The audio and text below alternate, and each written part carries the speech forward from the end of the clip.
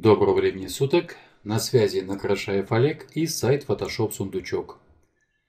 В сегодняшнем уроке мы с вами, используя возможности палитры 3D, придадим текстуру холста вот этой пейзажной фотографии, а потом разместим на ней логотип, и причем логотип органично впишем в текстуру, которую мы создадим. Вот такая цель сегодняшнего урока. Давайте перейдем к самому уроку. У меня открыта палитра 3D. Если она у вас не открыта, зайдите в меню «Окно» и выберите позицию 3D. Посмотрите на палитру 3D. Мы должны с вами выбрать источник. Это выделенные слои. После этого мы с вами делаем активной радиокнопку «Сетка из набора». Потом раскрываем список ниже и выбираем куб. И нажимаем кнопочку «Создать».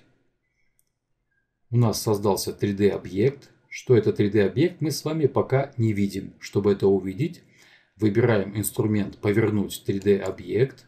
Инструменты для работы с 3D-объектами находятся в верхнем правом углу.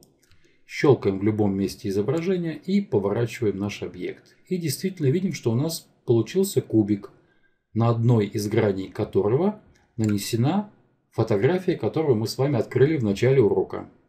Первое, что я сделаю, я в палитре 3D перейду на фильтр сетки. Это второй фильтр слева. Раскрою папочку куб и отключу видимость всех сеток, за исключением той, которая отвечает за переднюю грань, где у нас находится фотография. Отключаем. И вот у нас осталась одна сетка с нашей фотографией. Давайте поставим ее примерно по центру. Увеличим масштаб. Выберем инструмент масштаба. И разместим на все полотно нашего документа. Вот таким образом. Раскроем папочку куб. Я выбираю материал спереди. На палитре свойства появляются настройки материала. Немножко опускаемся вниз. И у нас есть такой параметр, как рельеф. Если щелкнуть по этой папочке, которая находится справа, щелкаем. У нас здесь есть два пункта. Новая текстура и загрузить текстуру. Вам не видно, давайте я вытащу эту палитру. Вот у нас рельеф. Щелкаем по папочке. Новая текстура.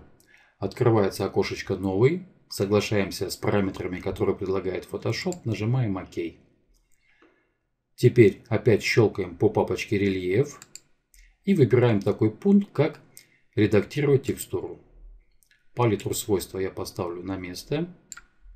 Перейду в палитру слои и добавлю новый корректирующий слой, который называется узор. Щелкаю по стрелочке, которая находится правее узора. Раскрывается список узоров, которые у меня сейчас активны. И у меня здесь есть вот такой набор, предустановленный набор. Я щелкаю по шестеренке. Он называется холст для живописи. Вот я его выбираю, Photoshop меня спрашивает заменить текущие узоры содержащимися в холст для живописи. Я, к примеру, говорю заменить, окей. И вот они у меня, вот эти вот текстуры есть.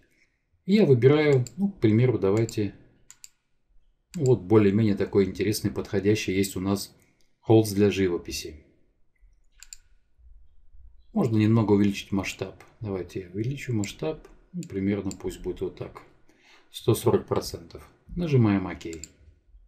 Закрываем материал и сохраняем. И вот вы видите, текстура у нас появилась на нашей фотографии. Как нам можно отрегулировать размер вот этой текстуры? Мы опять с вами переходим на свойства и в позицию рельеф. И вот с помощью рельефа мы можем увеличить высоту рельефа уменьшить или вообще, к примеру, убрать. Вот я сделаю, вот примерно пусть будет. Пусть будет вот так вот. Немножко чрезмерно, но просто я это сделал как бы в учебных целях, чтобы вы видели, какой у нас получился рельеф. Причем, как вы видели, я выбрал предустановленный узор. А вы можете загрузить абсолютно любой узор, который можно найти в интернете или даже создать самому. Первая часть урока на этом закончена. Мы с вами добавили текстуру рельефа на нашу фотографию. Теперь давайте добавим какой-нибудь логотип. Я перехожу в файл, выбираю пункт «Поместить». И у меня вот есть вот такой логотипчик. Я его выбираю. И он у меня открывается как смарт-объект вот с такой рамкой трансформации. Я удерживаю клавишу Shift и уменьшу размер. Ну, к примеру, пусть будет вот так вот. И размещу в правом нижнем углу. Нажимаю Enter, применяю трансформацию. Вот такой логотип у меня интересный получился. Но он у нас не вписан в нашу картинку. На всей картинке у нас вот такой здесь есть рисунок, рельеф, а на логотипе его нет. И сразу бросается в глаза, что это как бы чужеродный объект. Что же нам в этом случае делать? Как нам разместить на этот объект ту же текстуру, что и на пейзажной фотографии? Оказывается, все очень просто. У меня активен верхний слой, я нажимаю сочетание клавиш Ctrl-E, у меня слились оба слоя, и теперь у меня в палитре слои только один 3D слой. И самое интересное, посмотрите, у нас теперь логотип имеет точно такую же текстуру, как и вся пейзажная фотография. На этом урок закончен. Спасибо за внимание. С вами был Накрашаев Олег и сайт Photoshop Сундучок.